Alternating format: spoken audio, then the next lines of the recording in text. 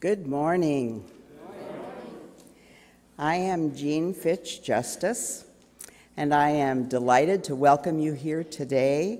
This is a day of celebration that should cover just about everyone in the room. We are celebrating Father's Day, so not all of us in the room are fathers, but we all had fathers. We are celebrating Children's Sabbath, and we're, we are all children of God, but we also are celebrating the little ones among us, and we are celebrating United Methodist Women. And we are celebrating the first day of our Arkansas United Methodist Annual Conference. So this is a Sunday full of celebration, and we are delighted that you have chosen to be here in worship. Our Texas youth have come and gone. They were very appreciative of the hospitality that we offered to them, and they accomplished a great deal while they were here. So it was our privilege to be able to host them. Thank you to everyone who came Thursday night to celebrate with them and especially to feed them. Feeding 80 kids is no small task.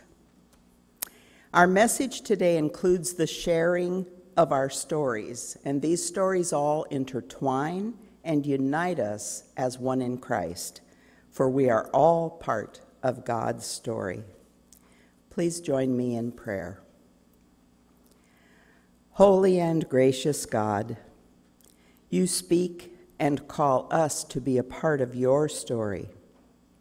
We are thankful that you have called us here in worship today, and we ask that you help us to be aware of your presence as we raise our voices in prayer, in song, and in praise of you. Inspire us, transform us, and send us forth that we may leave this place closer to you and leave in gratitude for having been in your presence this morning. We pray this in the name of your Son. Amen. And now, if you would join me, the United Methodist Women, excuse me, the purpose of United Methodist Women explains what the organization's focus is. This is what we are all about. So, if you will all read with me the United Methodist Women purpose. The organized unit of United Methodist Women shall be a community of women whose purpose is to know God and to experience freedom as whole persons through Jesus Christ, to develop a creative, supportive fellowship, and to expand concepts of mission through participation in the global ministries of the church.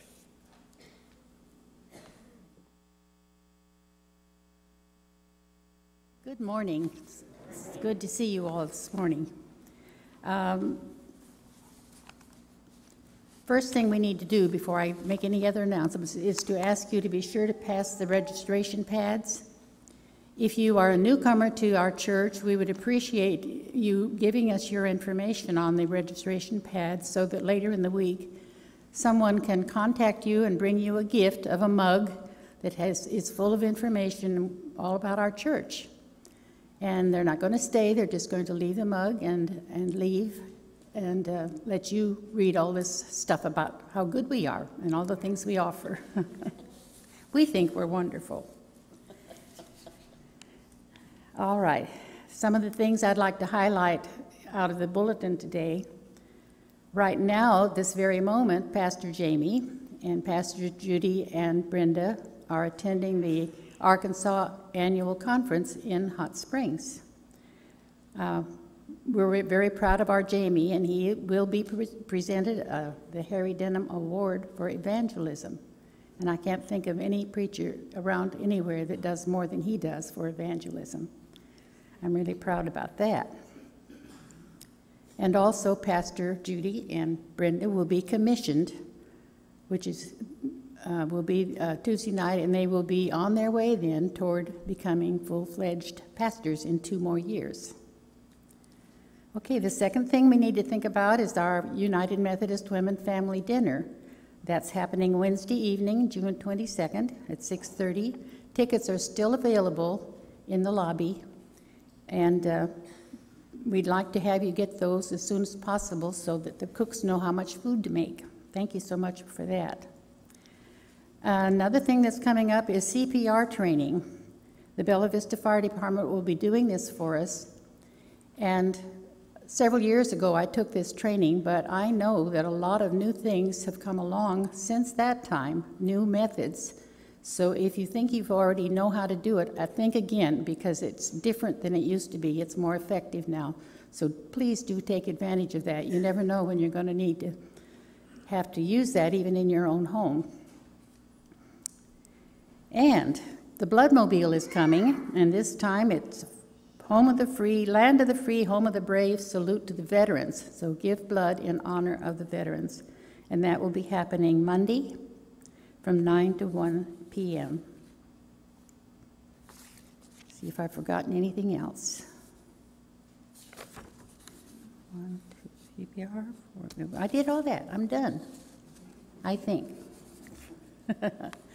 Okay, the next thing that's going to happen is a film. We've, it's become a little tradition of ours to have a film about moms and their mothers, and today we're going to have a film about dads and their daddies.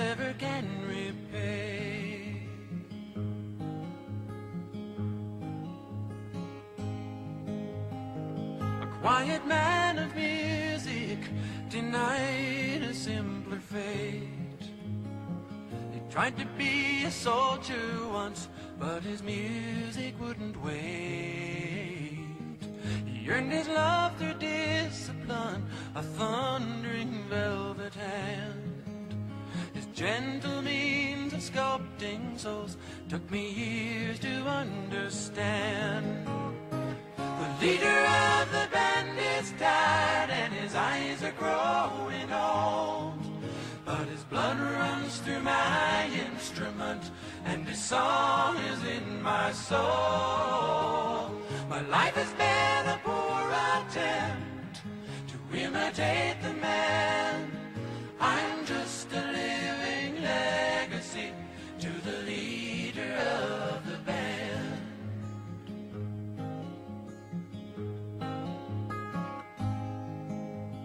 My brother's lives were different, for they heard another call. One went to Chicago, and the other to St. Paul. And I'm in Colorado when I'm not in some hotel. Living out this life I've chose and come to know so well.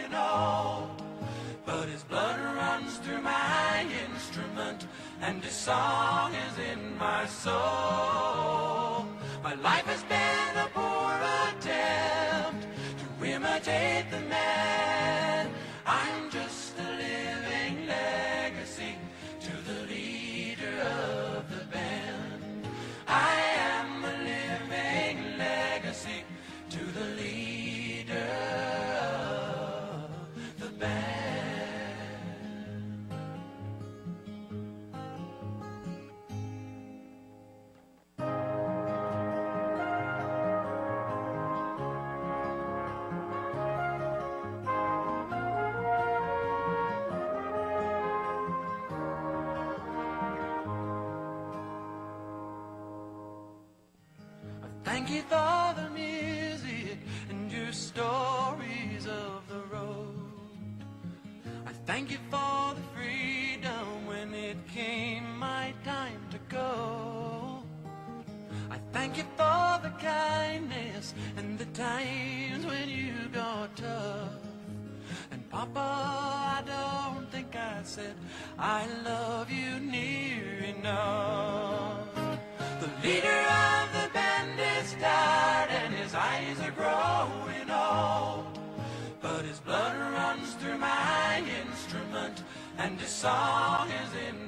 soul.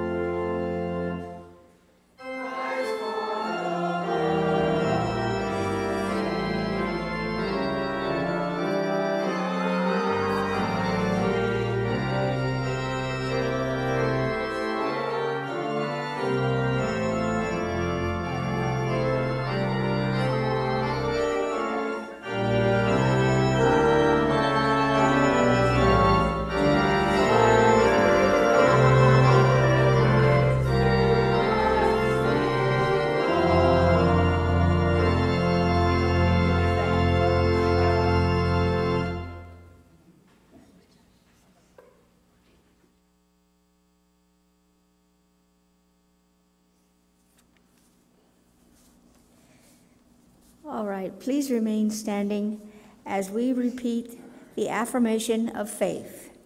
You'll find it in the bulletin and you'll also find it on the screen. Where the Spirit of the Lord is, there is one true church, apostolic and universal, whose holy faith let us now declare.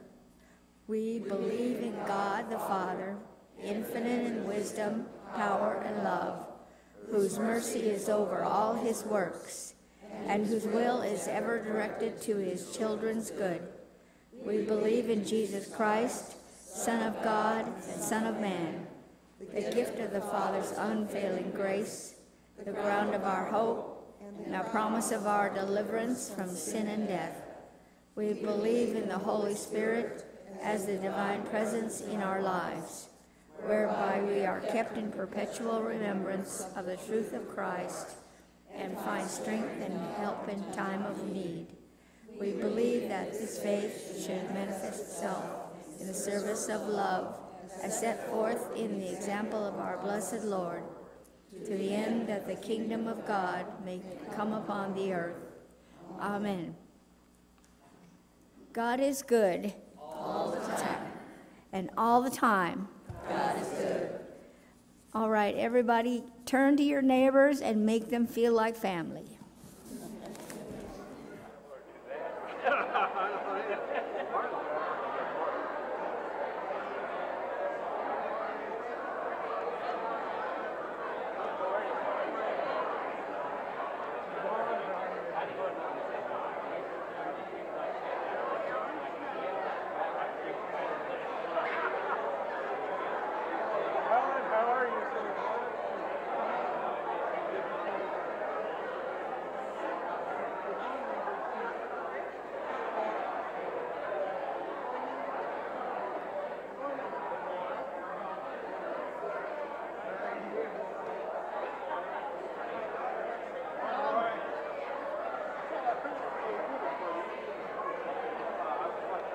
Oh, no, good job.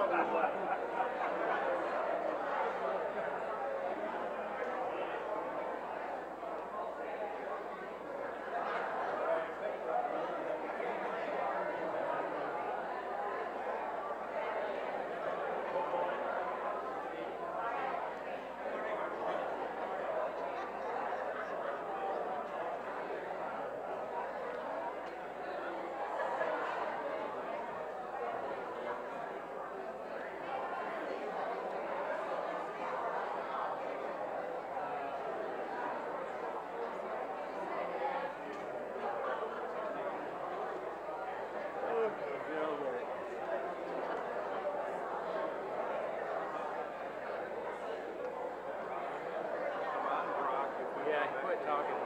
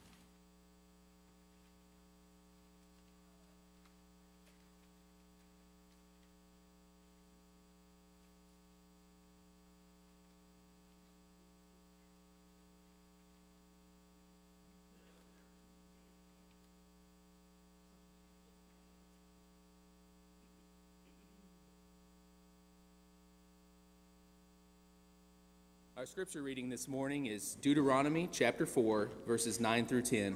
Listen for the word of God. Don't be careless, instead, be very careful. Don't forget the things your eyes have seen. As long as you live, don't let them slip from your mind. Teach them to your children and their children after them. Remember the day you stood on Mount Horeb. The Lord your God was there. He said to me, Bring the people to me to hear my words. I want them to learn to have respect for me as long as they live in the land. I want them to teach my words to their children. This is the word of God for the people of God. Thanks, be to God.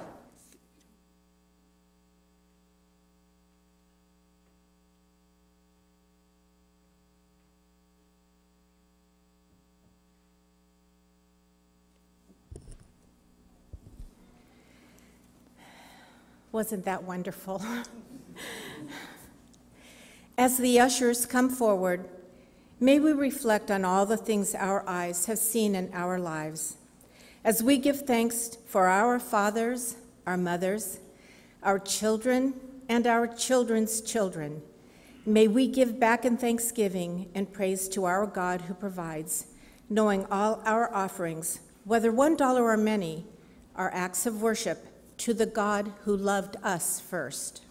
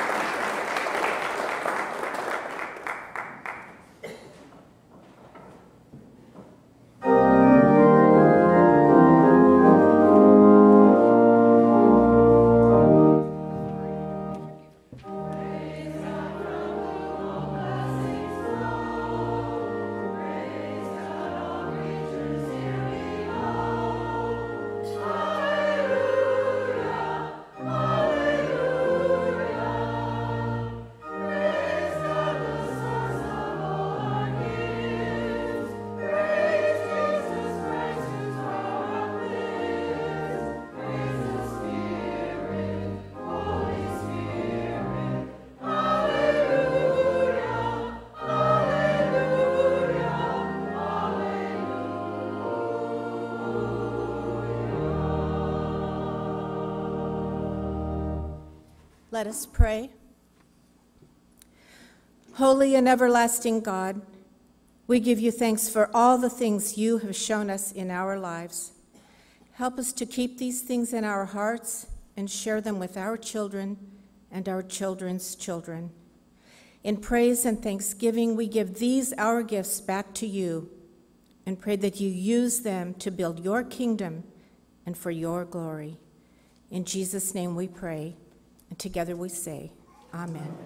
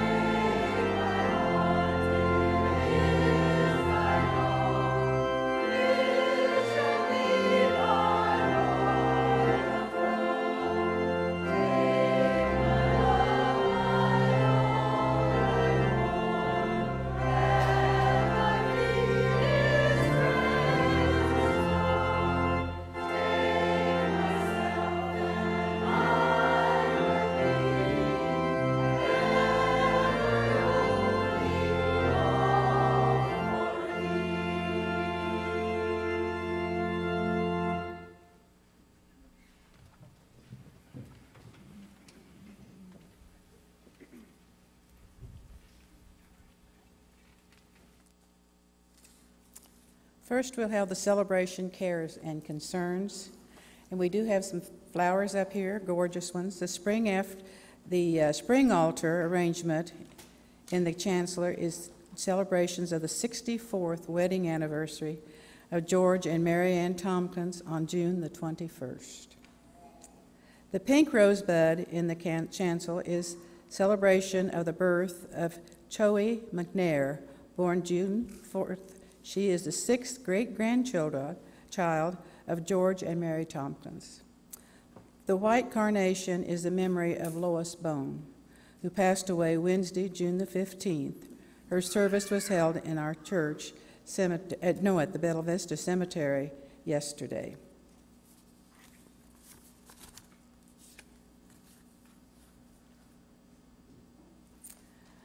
I have a note here that was given to me. Nick Cap- Capote uh, bypass, uh, had triple bypass, uh, and he's doing well. Uh, he's regular visitors, is late in late service.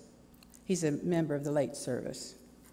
And another thing uh, we have is um, Amy and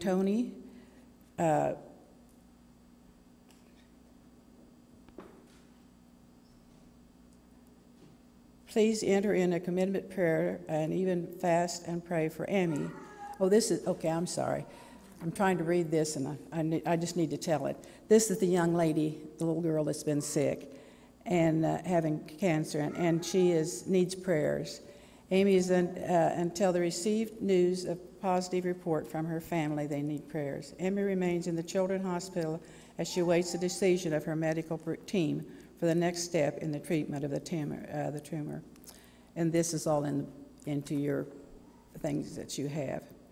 And then we also have Juanita Pryor, was involved in an auto, automobile accident in Dallas on Monday, the 13th, and she's staying with friends for a few days to see, till she gets better.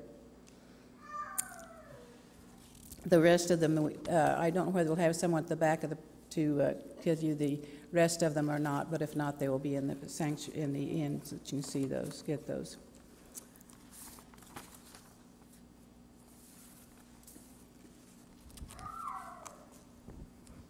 Let's prayer, have our prayer song.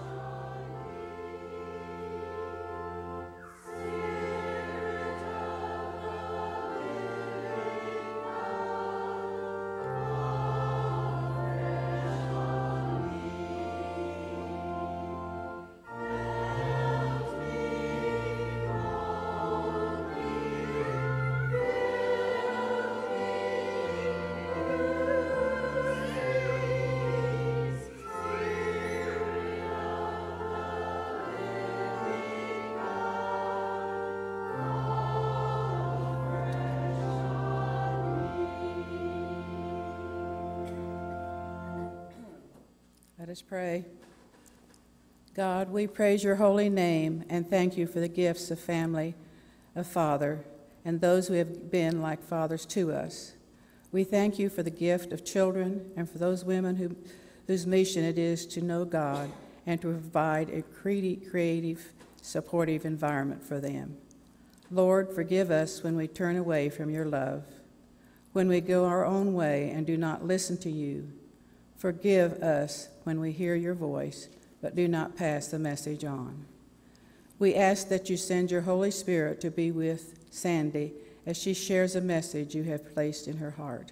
May it fall on our ears and our hearts to lift us to new understandings of you and of your presence in our lives. Lord, we ask that you help us to listen for your wisdoms and guidance we especially ask for your wisdom and guidance to be upon those gathered for our annual conference. Help us all to hear your voice, to follow your lead. It is in that one faith and one spirit that we unite together in the prayer which our Lord and Savior Jesus Christ taught us. Our Father, who art in heaven, hallowed us by thy name. Thy kingdom come, thy will be done, on earth as it is in heaven. Give us this day our daily bread, and forgive us our trespasses, as we forgive those who trespass against us. And lead us not into temptation, but deliver us from evil. For thine is the kingdom, and the power, and the glory forever. Amen.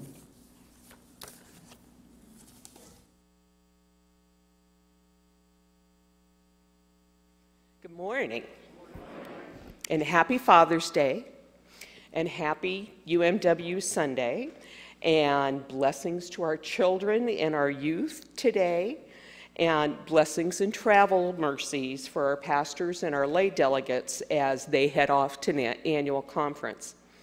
Please pray with me.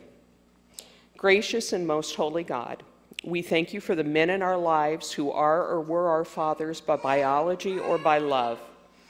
We thank you for the growing number of children and youth you bring to us to nurture and love and teach of your ways. We thank you for the women who offer their time, their talents, their faith, and their love to grow your kingdom. May the words of my heart be blessed by your Holy Spirit and be pleasing to your ear. Amen. The Samaritan woman at the well has always been one of my favorite stories from the Gospel of John. Here we have a woman who comes to the well at midday, not expecting her life to be changed. She encounters Jesus, who asks her for a drink of water, and he offers her living water. And there begins an extraordinary story of an ordinary woman who's not afraid to question this stranger, who's not afraid to engage in discussion that will change her life and the life of her community. So we find Jesus and the disciples in the heart of Samaria at the well of Jacob. The disciples have gone off to the city to find food, and Jesus stays behind and comes the woman to fetch water for her household.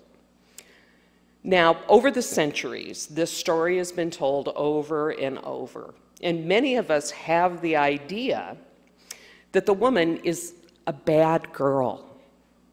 Why else would she be coming to the well at midday? Why? To hide her shame from the rest of the community. That has to be it. We don't know for sure, but we assume that's the reason. And it's convenient to paint her as a wanton woman.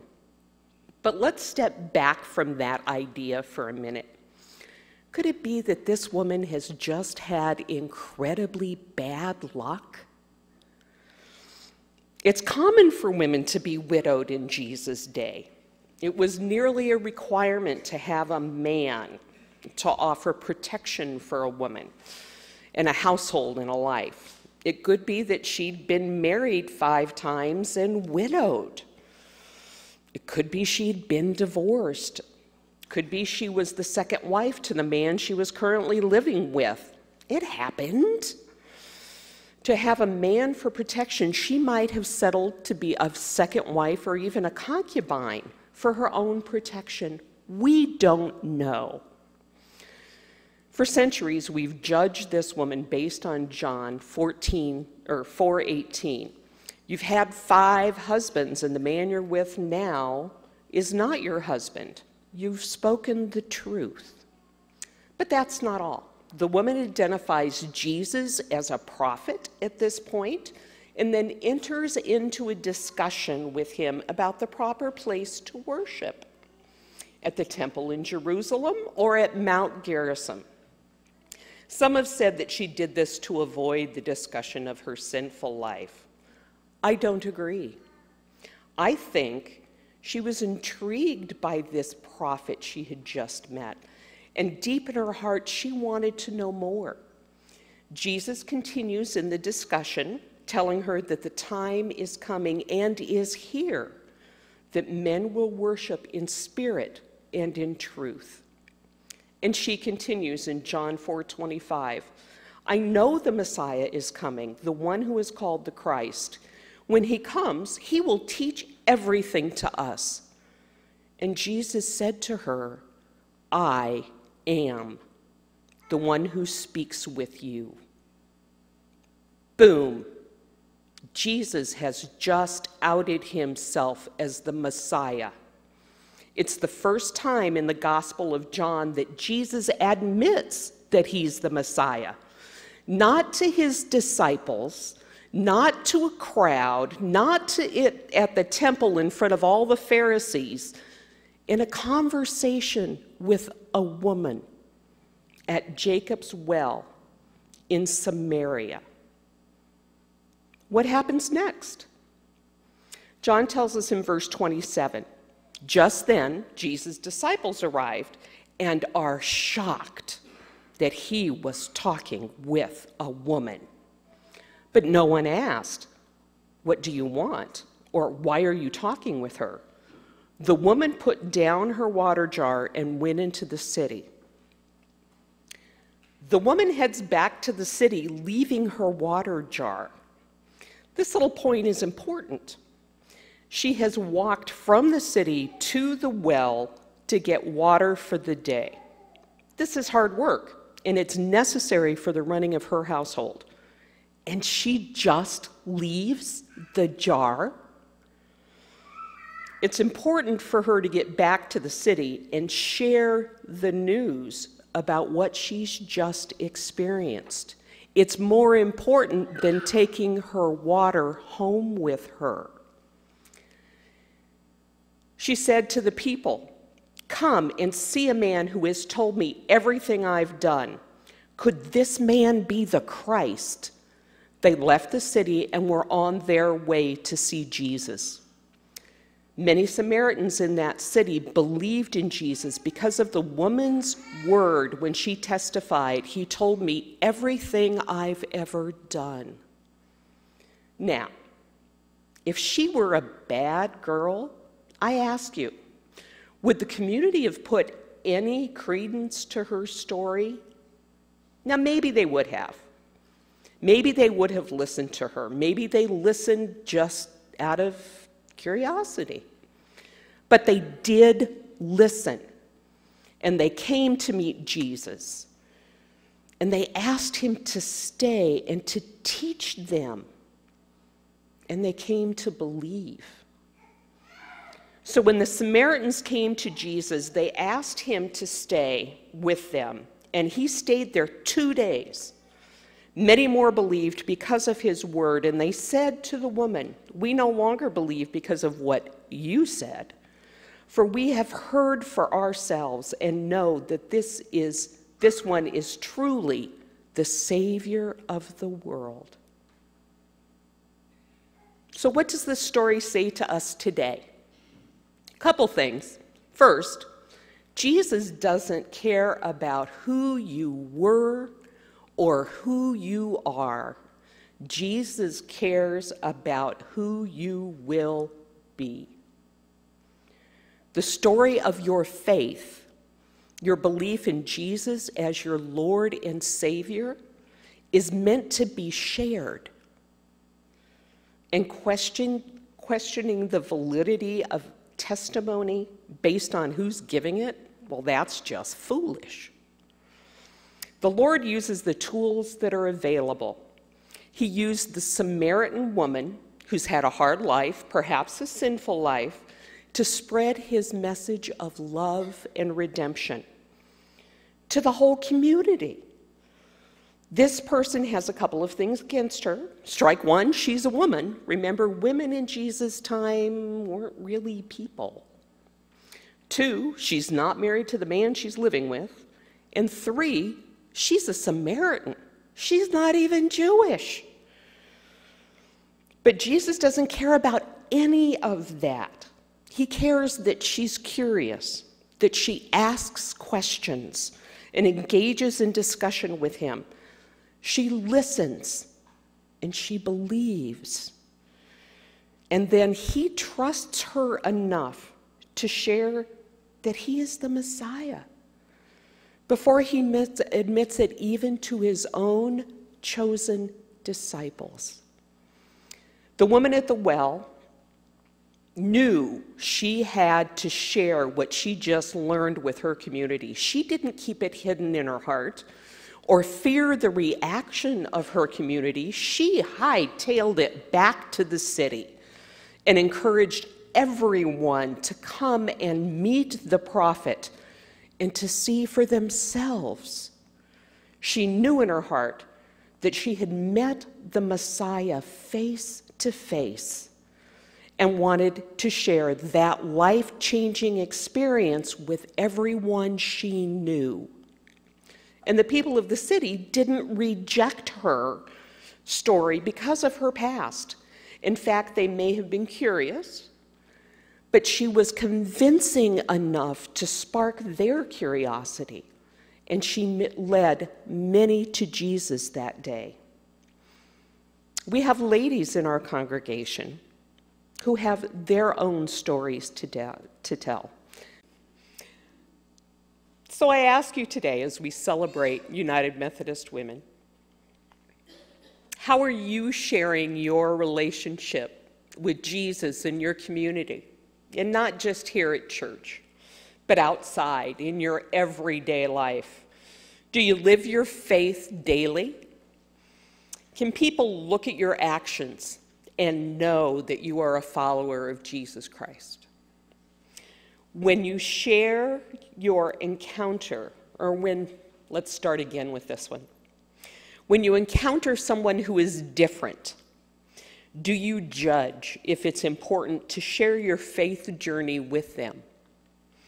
People who have had difficulties and struggles that you can't even imagine. People who don't look like you, or dress like you, or speak like you, or maybe believe like you, or even love like you. Do you hold back until they prove themselves to you, or do you welcome them with open arms to the love of Christ. We are all called to be the Samaritan woman at the well, to change our lives based on our encounters with Jesus, to share our faith, faith story with each other and with our neighbors. And who are our neighbors? Jesus told us everyone. We have a mission Mission is presence, relationship, witness, and sharing. Mission is refusing to turn away when the tears of God are being shed over the violence and injustice and suffering of God's wayward creation. How are you living your mission?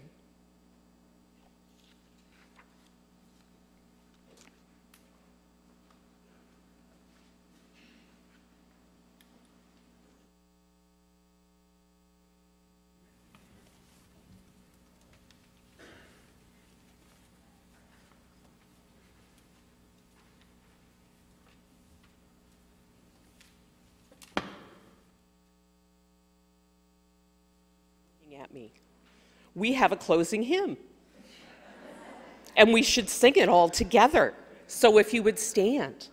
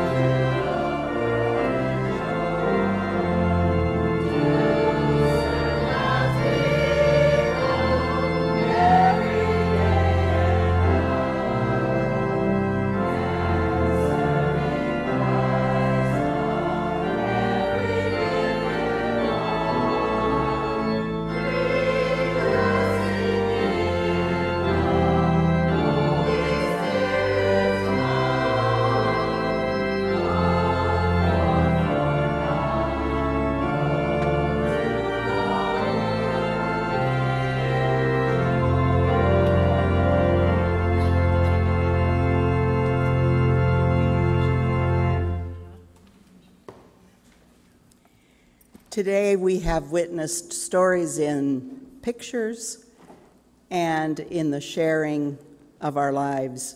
Each of us has a story. You have a story. And as part of the church, we are called to share that story. So, as Jamie says every week, we are not just called to come to church, we are called to be the church.